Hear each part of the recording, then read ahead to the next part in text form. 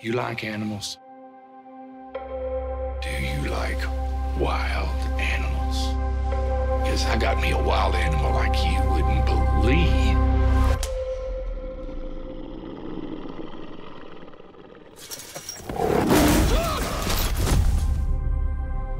I need you to come out here and feed him for me. Hmm, looky here, it's Kentucky Star. What are you looking at? What are you looking at? You live in a motel? We moved here to get all the things.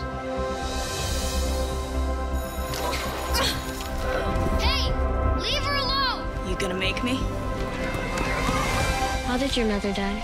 I ain't supposed to talk about him. You carrying all that sadness down low. Now letting it get up to your heart. Now let that sadness rise up. I got something to tell you. I know where there's a tiger. Lord God Almighty.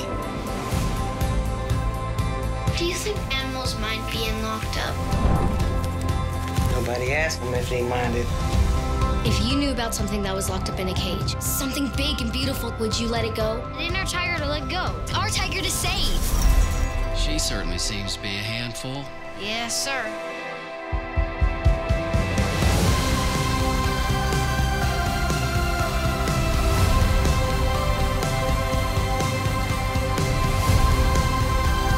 This your girlfriend?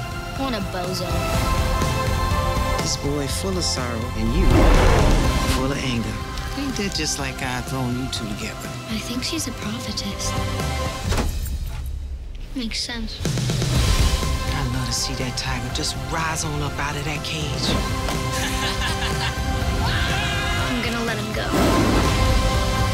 I'm gonna do it for you.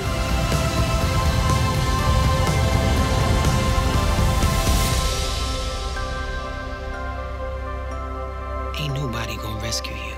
You gotta rescue yourself.